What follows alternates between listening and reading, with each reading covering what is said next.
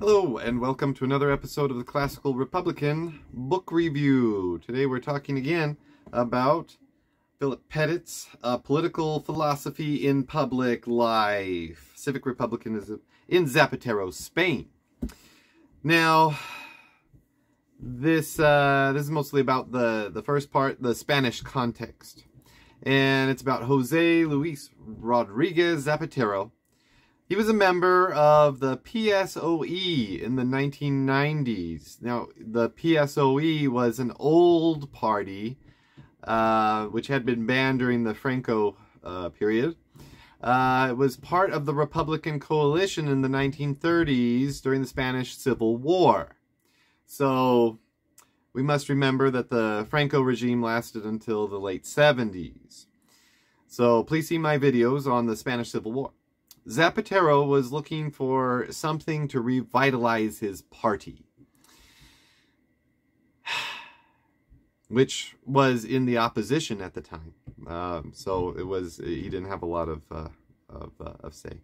Uh, neoliberalism was on the rise since the late 70s in places like the U.S. with Ronald Reagan and uh, the U.K. with Thatcher.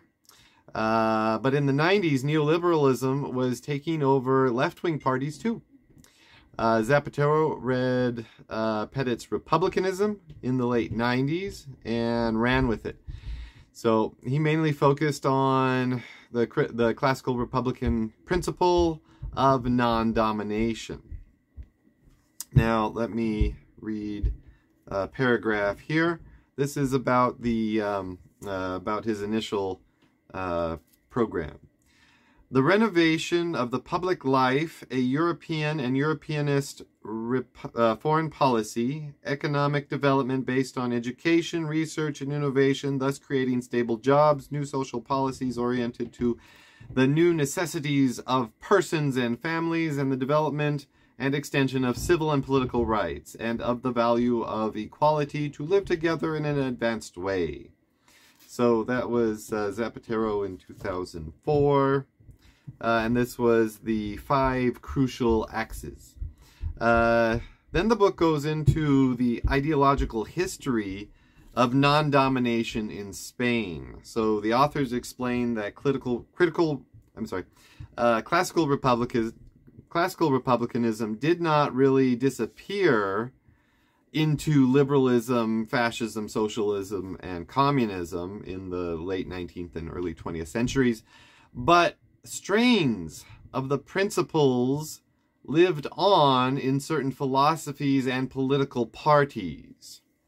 So they go into the, the history in Spain, how the connection, uh, there's a connection between classical republicanism and socialism in the late 19th and early early 20th centuries. Uh, in Spain, socialism was uh, was uh, carried on classical republicanism thought through Krausism, and uh, that was um, that's through um, uh, Karl Krause, who was a German political philosopher.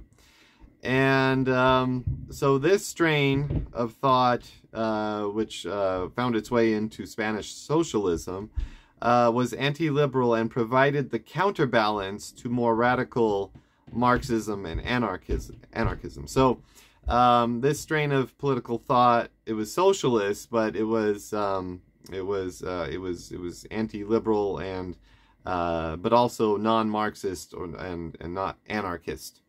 Uh, which, you know, anarchism was, was really big in Catalonia during the Spanish Civil War. Well, during the, the 30s. So I really learned lots about Spanish intellectual history reading this book. And you should read it if you want to learn that too. Uh, it does a great job of documenting how principles of classical republicanism can be applied in practice at the national level. Long live the Republic.